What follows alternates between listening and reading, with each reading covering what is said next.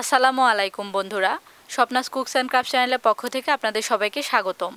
আজকে আমি আপনাদের দেখাবো কিভাবে কুশি কাটা দিয়ে খুব সহজে এই সুন্দর হাফ তৈরি করতে হয় এই হাফ আমি দুই থেকে তিন বছর বয়সী বেবিদের জন্য তৈরি করেছি তবে ভিডিওটিতে আমি এমন কিছু টিপ শেয়ার করেছি যেটা ফলো করে আপনারা যে কোনো বয়সী বেবি কিংবা বড়দের জন্য এই হাফ তৈরি করতে পারবেন আমি খুব সহজভাবে বোঝানোর চেষ্টা করেছি আশা করি যারা কুশি কাটার কাজ নতুন শিখেছেন তারাও একবার দেখলেই তৈরি করতে পারবেন আশা করি ভিডিওটি আপনাদের ভালো লাগবে ভিডিওটি যদি ভালো লাগে তাহলে ভিডিওটিতে একটি লাইক দেবেন কমেন্ট করে আপনাদের মূল্যবান মতামত জানাবেন এবং এখনও যারা আপনারা আমার চ্যানেলটি সাবস্ক্রাইব করেনি তারা অবশ্যই আমার চ্যানেলটি সাবস্ক্রাইব করে দেবেন আর যারা অলরেডি সাবস্ক্রাইব করেছেন তাদেরকে অসংখ্য ধন্যবাদ বন্ধুরা কুশিপণ্য নামে আমার একটি ফেসবুক পেজ আছে আমি এই পেজের মাধ্যমে কুশি কাটার এই ধরনের হাফ বডি সহ বিভিন্ন ধরনের পণ্য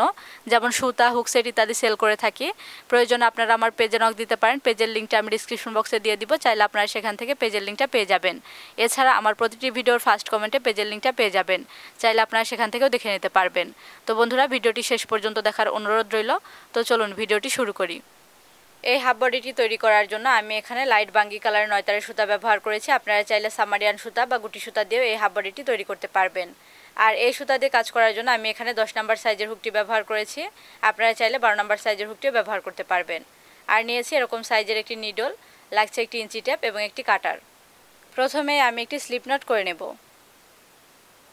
তো দেখুন এভাবে আমি একটি স্লিপ নট করে নিলাম আমি এখন স্লিপ নটটাকে এভাবে একটু টেনে ছোট করে নেবো এবং আপনারা খুব খেয়াল করে দেখুন আমি লুপের মধ্যে হুকটা এমন পর্যায়ে রাখবো যাতে খুব ইজিলি আপ ডাউন করা যায় এমন পর্যায়ে হুকটাকে রেখে আমি এখানে খুব ইজিলি কিছু চেন করে নেব তো দেখুন করে নিচ্ছি এভাবে খুব টাইটও নয় এমনকি খুব লুজও নয় এভাবে মাঝারি সাইজের করে চেনগুলো করে নিতে হবে আশা করি আপনারা দেখেই বুঝতে পারছেন তো আমি যেহেতু এই হাফ বডিটি দুই থেকে তিন বছর বয়সী বেবিদের জন্য তৈরি করব অর্থাৎ বাইশ ইঞ্চি পরিমাণ বডির জন্য তৈরি করব তার জন্য আমি এখানে তেইশ ইঞ্চি পরিমাণ চেন করে নেব অর্থাৎ এক ইঞ্চি পরিমাণ চেন বেশি করে করে নেব কেননা চেনের উপর কাজ করলে পরবর্তীতে আমার যেহেতু কমে যায় তার জন্য এক ইঞ্চি পরিমাণ চেন বেশি করে করে নেব তবে আপনাদের কাজটা যদি সমান সমান হয় তাহলে আপনাদের যতটুকু বডির প্রয়োজন ওই অনুযায়ী চেন করে নেবেন এবং তারপর কাজ করবেন এছাড়া আপনাদের কাজটা করার পর যদি কাজটা বেড়ে যায় তাহলে আপনারা এখানেই হাফ ইঞ্চি বা এক ইঞ্চি পরিমাণ চেন কমিয়ে নিয়ে কাজ করবেন আশা করি বুঝতে পেরেছেন আমি এখন এই একই নিয়ম ফলো করে অর্থাৎ মাঝারি সাইজের করে মোট তেইশ ইঞ্চি পরিমাণ চেন করে নিয়ে ফিরে আসছি তো দেখুন একই নিয়ম ফলো করে আমি এখানে মোট তেইশ ইঞ্চি পরিমাণ চেন করে নিয়েছি তেইশ ইঞ্চি পরিমাণ চেন হয়েছে নাকি আমি এখন সেটা আপনাদের ইঞ্চি টেপের সাহায্যে মেপে দেখিয়ে দিচ্ছি তো দেখুন এভাবে ইঞ্চি টেপের উপর হালকা করে রেখে মেপে নিতে হবে খুব বেশি টাইট কিংবা খুব বেশি লুজ করে টেনে ধরে মাপটা নেওয়া যাবে না তো দেখুন আমি খুব হালকাভাবে মেপে নিচ্ছি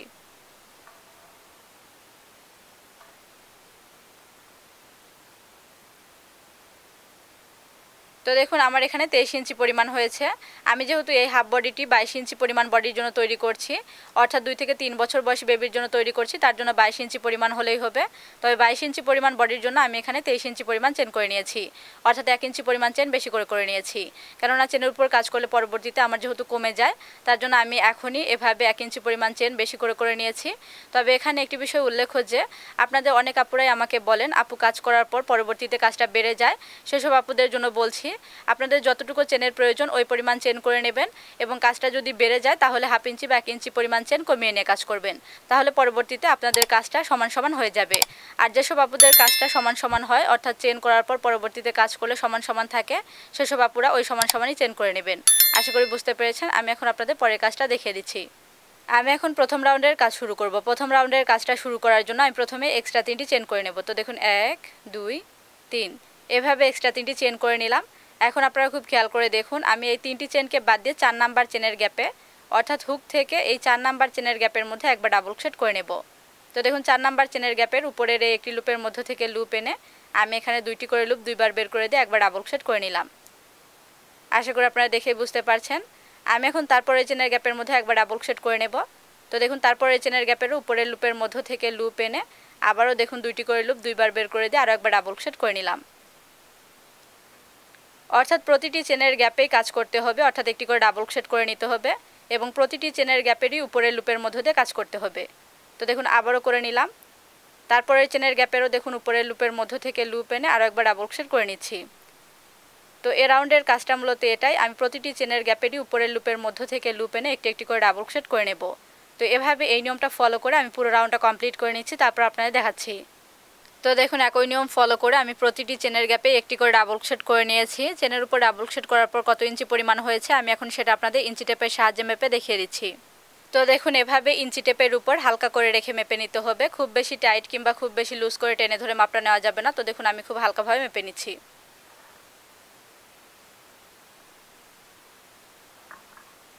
তো দেখুন আমার এখানে বাইশ ইঞ্চি পরিমাণ হয়েছে আমি যেহেতু এই হাফ বডিটি দুই থেকে তিন বছর বয়সী বেবিদের জন্য তৈরি করছি তার জন্য আমার এখানে বাইশ ইঞ্চি পরিমাণ হলেই হবে তবে বাইশ ইঞ্চি পরিমাণ হাফ বডির জন্য আমি এখানে তেইশ ইঞ্চি পরিমাণ চেন করে নিয়েছি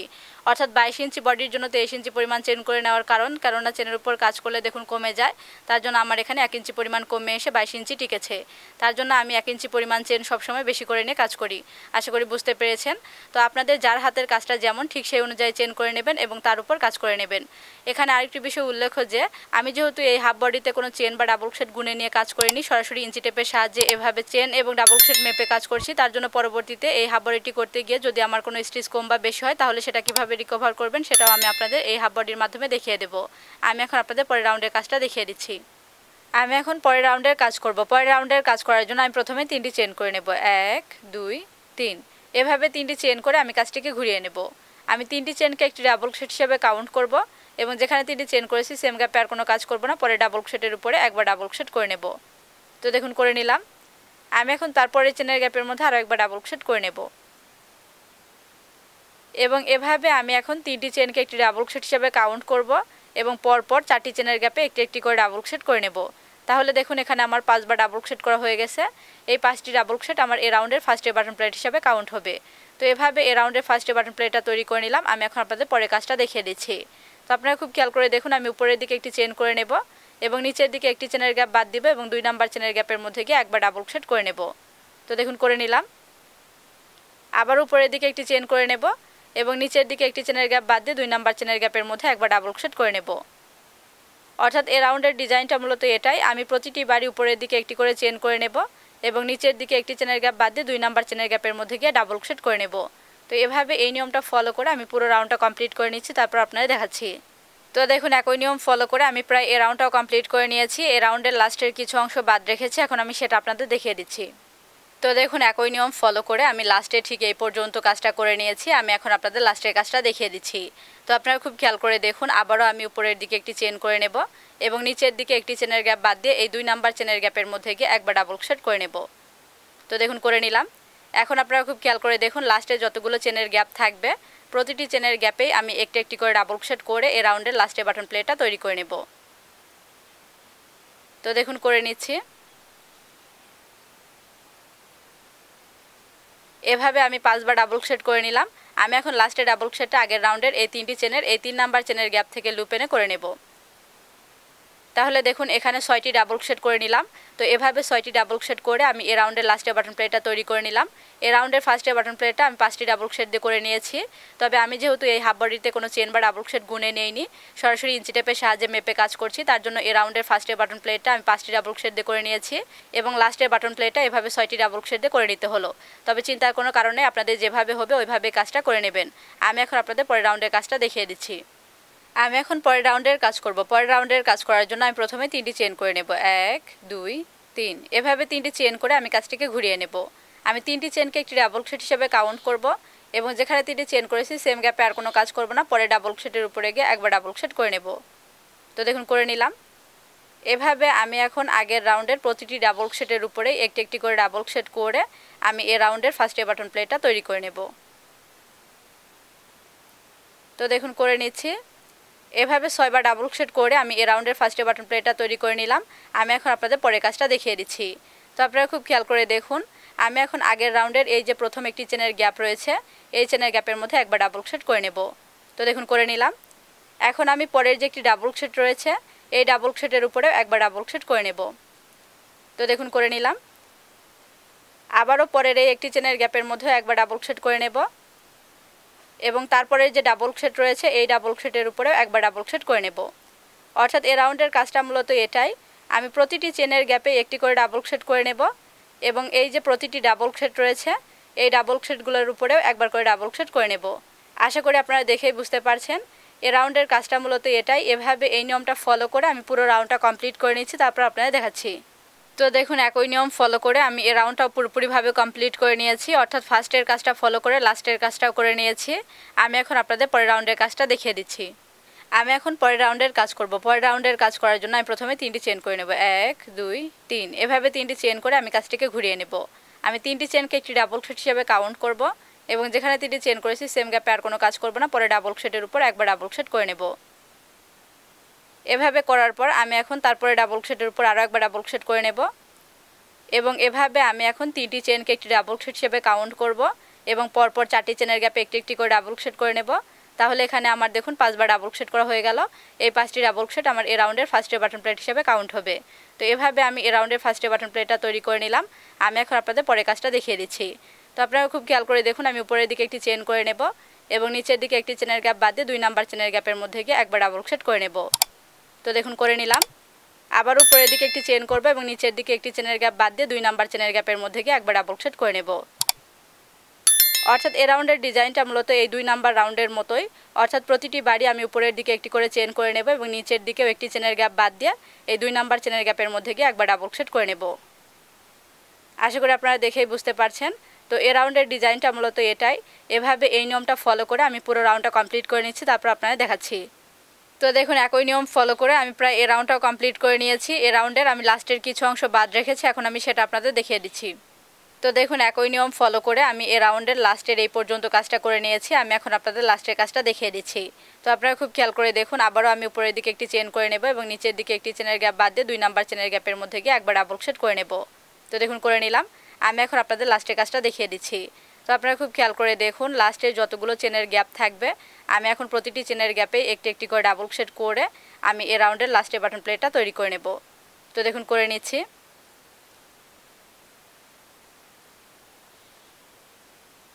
এভাবে পাঁচবার ডাবল শেড করে নিলাম আমি এখন লাস্টে ডাবল শেডটা আগের রাউন্ডের এই তিনটি চেনের এই তিন নাম্বার চেনের গ্যাপ থেকে লুপেনে করে নেব তো এভাবে ছয়বার ডাবল শেড করে আমি এ রাউন্ডের লাস্টে বাটন প্লেটটা তৈরি করে নিলাম আমি এখন আপনাদের পরের রাউন্ডের কাজটা দেখিয়ে দিচ্ছি আমি এখন পরের রাউন্ডের কাজ করব পরের রাউন্ডের কাজ করার জন্য আমি প্রথমে তিনটি চেন করে নেব এক দুই তিন এভাবে তিনটি চেন করে আমি কাজটিকে ঘুরিয়ে নেব আমি তিনটি চেনকে একটি ডাবল সেট হিসেবে কাউন্ট করবো এবং যেখানে তিনটি চেন করেছি সেম গ্যাপে কাজ করব না পরে ডাবল সেটের উপরে একবার ডাবল সেট করে নেব এবং এভাবে আমি এখন পরপর প্রতিটি চেনের গ্যাপে একটি একটি করে ডাবল সেট করে আমি এ রাউন্ডের ফার্স্টে বাটন প্লেটটা তৈরি করে নেবো তো দেখুন এভাবে ছয়বার ডাবল শেড করে আমি এ রাউন্ডের ফার্স্টে বাটন প্লেটটা তৈরি করে নিলাম আমি এখন আপনাদের পরের কাজটা দেখিয়ে দিচ্ছি তো আপনারা খুব খেয়াল করে দেখুন পরের যে এই প্রথম চেনের গ্যাপটা রয়েছে আমি এখন এই চেনের গ্যাপের মধ্যে একবার ডাবল সেট করে নেব তো দেখুন করে নিলাম এখন আমি পরের যে একটি ডাবল সেট রয়েছে আমি এখন এই ডাবল সেটের উপরেও একবার ডাবল সেট করে নেব এবং তারপরে চেনের গ্যাপের মধ্যে একবার ডাবল সেট করে নেব অর্থাৎ এ রাউন্ডের কাজটা মূলত তিন নাম্বার রাউন্ডের মতোই অর্থাৎ আমি প্রতিটি চেনের গ্যাপে একটি করে ডাবল সেট করে নেব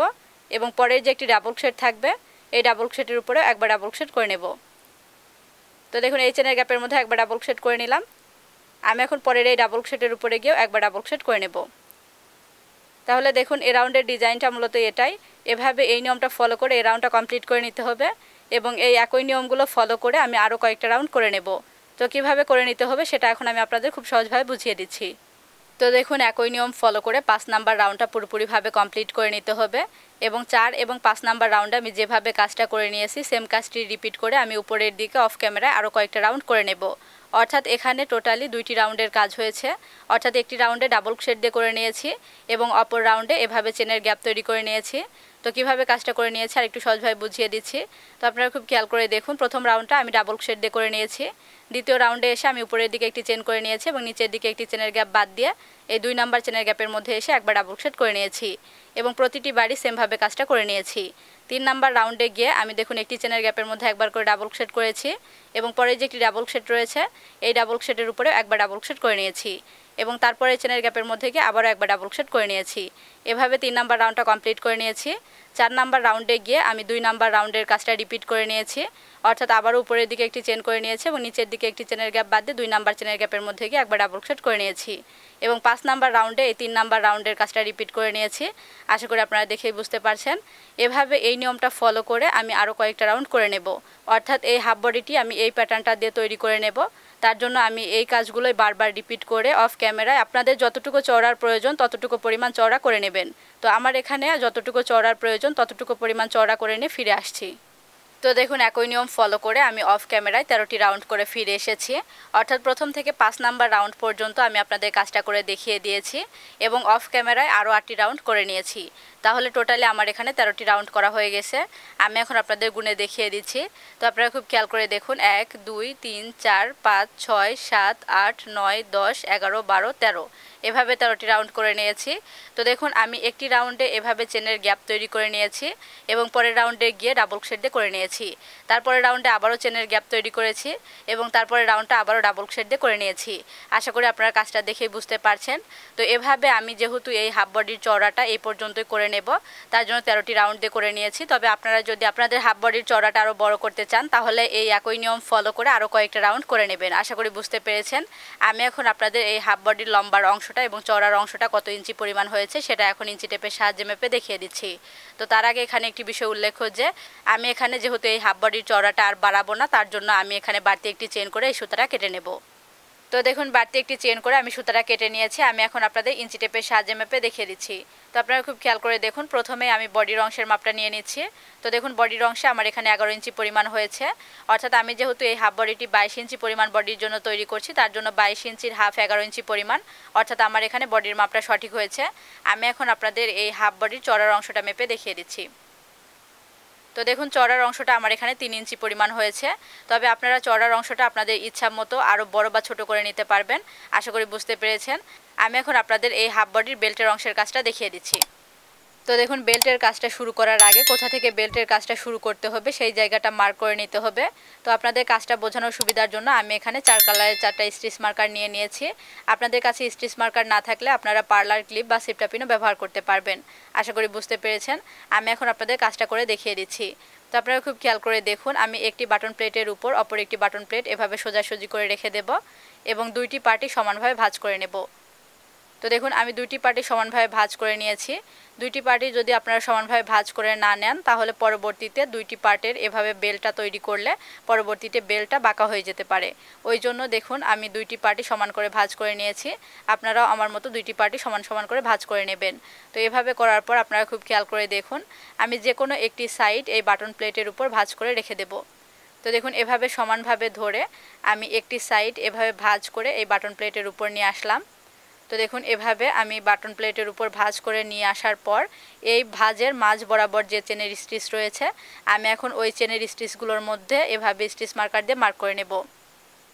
তো দেখুন এই উপরের পার্ট অর্থাৎ প্রথম পার্টের এই মাঝ বরাবর যে চেনের গ্যাপটা রয়েছে অর্থাৎ এই চেনের গ্যাপ রয়েছে আমি এখন এই চেনের গ্যাপের মধ্যে একটি স্টিচ মার্কার লাগিয়ে নিলাম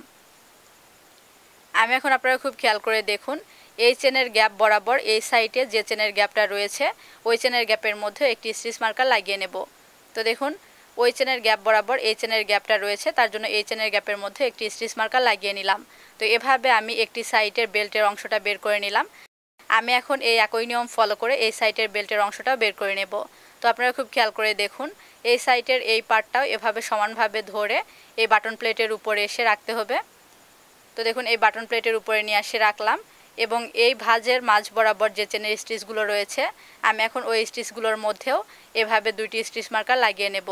তো এই সাইডটা ফলো করে আমি অফ ক্যামেরায় এই সাইডের স্টিচ মার্কারটাও লাগিয়ে নিচ্ছি তারপর আপনাদের দেখাচ্ছি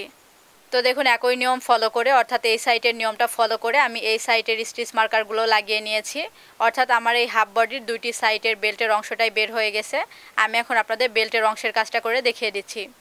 তো দেখুন বেল্টের কাজটা শুরু করার আগে কোন কোন চেনের গ্যাপ মিলে বেল্টের কাজটা শুরু করতে হবে সেটা এখন দেখিয়ে দিচ্ছি তো দেখুন একটি স্টিচ মার্কারকে এভাবে মাঝখানে রেখে এই সাইড থেকে চারটি চেনের গ্যাপ নিতে হবে অর্থাৎ গলার এই সাইড থেকে চারটি চেনের গ্যাপ নিতে হবে এবং স্টিচ মার্কারের এই সাইডে অর্থাৎ মহড়ার এই সাইড থেকেও চারটি চেনের গ্যাপ নিতে হবে তাহলে দুইটি সাইড মিলে এখানে আটটি চেনের গ্যাপ হলো এবং মাঝে স্টিচ মার্কারের একটি চেনের গ্যাপ এই মিলে নয়টি চেনের গ্যাপ মিলে আমি এখানে বেল্টের অংশের কাজটা শুরু করব তো আমি কাজটা করে দেখিয়ে দিচ্ছি আমি এখন বেল্টের অংশের কাজটা শুরু করব বেল্টের অংশের কাজটা শুরু করার জন্য প্রথমে আমি সুতাতে একটি স্লিপ নট করে নিয়েছি আমি এখন আপনাদের কাজটা করে দেখিয়ে দিচ্ছি তো আপনারা খুব খেয়াল করে দেখুন এই স্টিচ মার্কারের এই সাইডে এক দুই তিন চার এই চার নাম্বার চেনের গ্যাপে এভাবে হুকটাকে নেব এবং নটটাকে এভাবে গ্যাপের মধ্যে টেনে নিয়ে এসে এখানে একটি চেন করে সুতাটা জয়েন করে নেব তো দেখুন এভাবে একটি চেন করে সুতাটা জয়েন করে নিলাম আমি এখন এখানে আবার দুটি চেন করব এক দুই তাহলে দেখুন তিনটি চেন করা হয়ে গেল এভাবে তিনটি চেন করে আমি এখন পরের চেনের গ্যাপের মধ্যে একবার ডাবল ক্রোশেট করে নেব তো দেখুন দুই তারপরে চেনের গ্যাপের মধ্যে আরও একবার ডাবল ক্রোশেট করে নিলাম তিন এবং দেখুন তারপরে চেনের গ্যাপের মধ্যে আরও একবার ডাবল ক্রোশেট করে নেব চার এভাবে চারবার ডাবল ক্রোশেট করে নিলাম এখন আপনারা খুব খেয়াল করে দেখুন এই স্টিচ মার্কার এই চেনের গ্যাপের মধ্যে একবার ডাবল ক্রোশেট করে নেব তো দেখুন এভাবে স্টিচ মার্কারের চেনের গ্যাপের মধ্যে ডাবল ক্রোশেট করে নিলাম আমি এখন আপনারা খুব খেয়াল করে দেখুন এই স্টিচ মার্কারটা খুলে নেব তো দেখুন স্টিচ মার্কারটা খুলে নিয়েছি আমি এখন স্টিচ মার্কার এই সাইডেও চারটি চেনের গ্যাপে একটি একটি করে ডাবল সেট করে নেব তো দেখুন এক দুই তিন চার তাহলে দেখুন এই প্রথম রাউন্ডে আমি এখানে নয়টি ডাবল সেট করে নিলাম দেখুন এক দুই তিন চার পাঁচ ছয় সাত আট নয় এভাবে নয়বার ডাবল শেড করে আমি এই বেল্টের প্রথম রাউন্ডের কাজটা কমপ্লিট করে নিলাম আমি এখন দ্বিতীয় রাউন্ডের কাজ করব তো দ্বিতীয় রাউন্ডের কাজটা করার জন্য আমি প্রথমে চারটি চেন করে নেব তো দেখুন এক দুই তিন চার এভাবে চারটি চেন করে আমি কাজটিকে ঘুরিয়ে নেব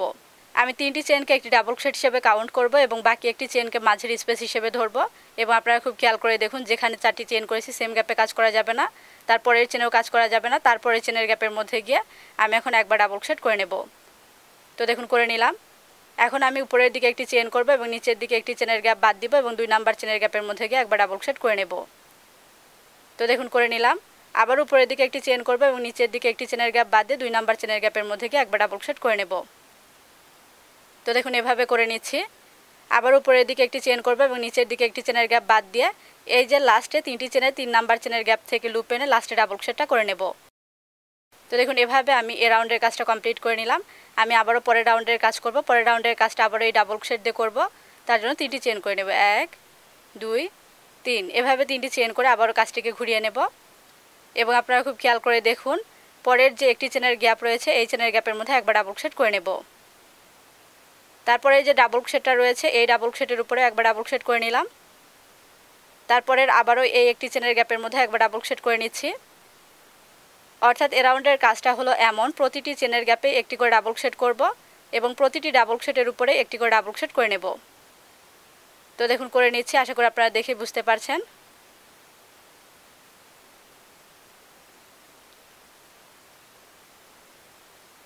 এই ডাবল সেটের উপরে একবার ডাবল সেট করে নিলাম এখন আপনারা এখানকার কাজটা খুব মনোযোগ সহকারে দেখুন তো দেখুন এই যে চারটি চেন করে নিয়েছিলাম একটি চেনকে এখানে একটি মাঝের স্পেস হিসেবে ধরেছিলাম সেই চেনের গ্যাপে একবার ডাবল ক্রোশেট করে নিলাম এখন আপনারা খুব খেয়াল করে দেখুন লাস্টে ডাবল ক্রোশেটটা আমি আগের রাউন্ডের এই তিনটি চেনের তিন নাম্বার চেনের গ্যাপ থেকে লুপেনে করে নেব তো দেখুন করে নিলাম এভাবে আমি এ রাউন্ডেও নয়বার ডাবল ক্রোশেট করে নিলাম আশা করি আপনারা দেখে বুঝতে পারছেন তো আমি এখন আবারও পরের রাউন্ডের কাজটা করে দেখিয়ে দিচ্ছি পরের রাউন্ডের কাজটা আবারও চেনের গ্যাপ তৈরি করব তার জন্য চারটি চেন করে নেব চারটি চেন করে কাজটিকে ঘুরিয়ে নেব তো দেখুন ঘুরিয়ে নিলাম তিনটি চেনকে একটি ডাবল সেট হিসেবে কাউন্ট করবো এবং বাকি একটি চেনকে মাঝের স্পেস হিসেবে ধরে আমি নিচের দিকে দেখুন একটি চেনের গ্যাপ বাদ দিব এবং দুই নাম্বার চেনের গ্যাপের মধ্যে গিয়ে একবার ডাবল সেট করে নেব তো দেখুন করে নিলাম এখন আমি আবার উপরের দিকে একটি চেন করবো এবং নিচের দিকে একটি চেনের গ্যাপ বাদ দিয়ে এই দুই নাম্বার চেনের গ্যাপের মধ্যে একবার ডাবল সেট করে নিলাম তো দেখুন আবারও একটি চেন করতে হবে এবং নিচের দিকে একটি চেনের গ্যাপ বাদ দিয়ে দুই নাম্বার চেনের গ্যাপের মধ্যে গিয়ে ডাবল সেট করে নিতে হবে তো দেখুন আবারও একটি চেন করলাম এখন আমি নিচের দিকে আবারও একটি চেনের গ্যাপ বাদ দিব এবং লাস্টে ডাবল ক্রোশেটটা আগের রাউন্ডের এই তিনটি চেনে তিন নাম্বার চেনের গ্যাপ থেকে লুপেনে করে নেব তো দেখুন এভাবে করে নিলাম আশা করি আপনারা দেখে বুঝতে পারছেন আবারও পরের রাউন্ডের কাজটা করার জন্য তিনটি চেন করব অর্থাৎ আমি ডাবল ক্রোশেট দিয়ে যখন রাউন্ডগুলো করব তখন তিনটি করে চেন করে নেব এভাবে যখন চেনের গ্যাপ তৈরি করব তখন চারটি করে চেন দিয়ে কাজটা শুরু করব আশা করি বুঝতে পেরেছেন একটি রাউন্ড এভাবে ডাবল শেড দিয়ে এবং একটি রাউন্ড এভাবে চেনের গ্যাপ তৈরি করে এভাবে এই দুইটি রাউন্ড আমি বারবার রিপিট করে এই বেল্টের অংশের কাজটা করে নেব তো এভাবে আপনাদের বেলটা যতটুকু লম্বা প্রয়োজন ততটুকু লম্বা করে তৈরি করে নেবেন আমি আমার পছন্দ মতো যতটুকু আমার প্রয়োজন ততটুকু লম্বা করে নিচ্ছি তারপর আপনারা দেখাচ্ছি তো দেখুন একই নিয়ম ফলো করে আমি এখানে টোটালি পঁচিশটি রাউন্ড করে ফিরে এসেছি অর্থাৎ আপনারা খুব খেয়াল করে দেখুন আমি একটি রাউন্ড এভাবে ডাবল শেড দিয়ে করে নিয়েছি এবং পরের রাউন্ডটা আবারও চেন সিস্টেম করে করে নিয়েছি এভাবে এই দুইটি রাউন্ড বারবার রিপিট করে পঁচিশটি রাউন্ড করে নিয়েছি তবে আপনারা আপনাদের বাচ্চার কাঁধের মেজারমেন্ট অনুযায়ী এই বেল্টের রাউন্ডগুলো কম বা বেশি করে নিতে পারবেন আশা করি বুঝতে পেরেছেন তবে এখানে আরেকটি বিষয় উল্লেখ্য যে লাস্টের রাউন্ডটা অবশ্যই এভাবে ডাবল ক্রোশেট দিয়ে শেষ করতে হবে আশা করি বুঝতে পেরেছেন আমি এখন এই বেল্টটা কিভাবে অপর পার্টের সাথে জয়েন করে নেবেন অর্থাৎ ঠিক এখানে জয়েন করবেন সেটা দেখিয়ে দিচ্ছি তো দেখুন বেল্টের মধ্যে কোনো প্রকার ভাজ না রেখে জয়েন্টটা করে নিতে হবে তো আপনারা খুব খেয়াল করে দেখুন আমি বেল্টের কাজটা যেভাবে শুরু করেছিলাম ঠিক সেমভাবে আমি জয়েন্টটা করে নেব তো দেখুন এই স্টিচ মার্কারকে মাঝখানে রেখে এই সাইডে চারটি চেনের গ্যাপ মিলে এবং অপর সাইডে চারটি চেনের গ্যাপ মিলে এবং এই স্টিচ মার্কারের চেনের গ্যাপ মিলে এখানে টোটাল নয়টি চেনের গ্যাপ মিলে আমি জয়েনের কাজটা করে নেব তো আপনারা খুব খেয়াল করে দেখুন এই সাইড থেকে এক দুই তিন চার এই চার নাম্বার চেনের গ্যাপে এভাবে হুকটাকে নেব এবং এই লুপটাকে গ্যাপের মধ্যে টেনে নিয়ে এসে এখানে একটি চেন করে এভাবে সুতাটাকে জয়েন করে নেব এভাবে জয়েন করে নেওয়ার পর পরের কাজটা দেখিয়ে দিচ্ছি তো আপনারা খুব খেয়াল করে দেখুন পরের চেনের গ্যাপের মধ্যে এভাবে হুকটাকে নেব এবং এই যে বেল্টেরও আমি পরের চেনের গ্যাপের মধ্য থেকে এভাবে লুপ এনে আমি এখন হুকে থাকা এই লুপসের মধ্য দিয়ে এভাবে স্লিপ স্টিচ করে জয়েন করে দেব তো আপনারা খুব খেয়াল করে দেখুন আমি কিভাবে জয়েনটা করে নিচ্ছি তারপরের চেনের গ্যাপের মধ্যে এভাবে হুকটাকে নেব এবং বেল্টেরও পরের চেনের গ্যাপ থেকে এভাবে লুপ এনে এভাবে আমি এখন স্লিপ স্টিচের মাধ্যমে জয়েনটা করে নেব তো দেখুন তারপরের চেনের গ্যাপের মধ্যে হুকটাকে নিচ্ছি এবং বেল্টেরও পরের চেনের গ্যাপের মধ্য থেকে লুপ এনে এভাবে দেখুন স্লিপ স্টিচের মাধ্যমে এভাবে আমি জয়েন্টটা করে নিচ্ছি তো দেখুন এই স্টিচ মার্কার এই চেনের গ্যাপের মধ্যে হুকটাকে নেব এবং অপর সাইডের এই পরের চেনের গ্যাপের মধ্যে হুকটাকে নিয়ে এভাবে লুপ এনে আবারও দেখুন এভাবে স্লিপ স্টিচ করে জয়েন করে নিচ্ছি এখন আমি স্টিচ মার্কারটাকে খুলে নেব তো দেখুন স্টিচ মার্কারটা খুলে নিয়েছি এখন আমি অপর সাইডেও চারটি চেনের গ্যাপে এভাবে জয়েন্টটা করে নেবো তো দেখুন আবারও স্লিপ স্টিচের মাধ্যমে আমি এই সাইডেরও প্রতিটি চেনের গ্যাপে এবং ওই সাইডেরও প্রতিটি চেনের গ্যাপে কাজ করে নিচ্ছি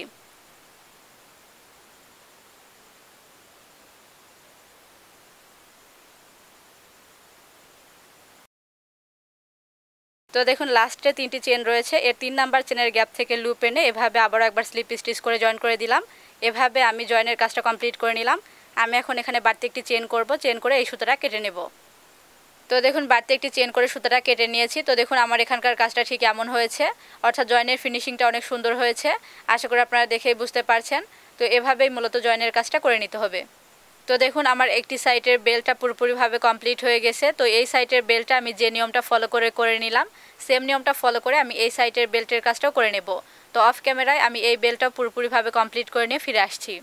তো দেখুন একই নিয়ম ফলো করে আমি এই সাইডের বেল্টের কাজটা ফলো করে এই সাইডের বেল্টটা পুরোপুরিভাবে কমপ্লিট করে নিয়েছি তো দেখুন আমার হাফ বডিটি প্রায় কমপ্লিট হয়ে গেছে আমি এখন বাড়তি যে সুতাগুলো রয়েছে এই সুতাগুলো নিডলের সাহায্যে কাজের পেছন দিকে হাইড করে নেব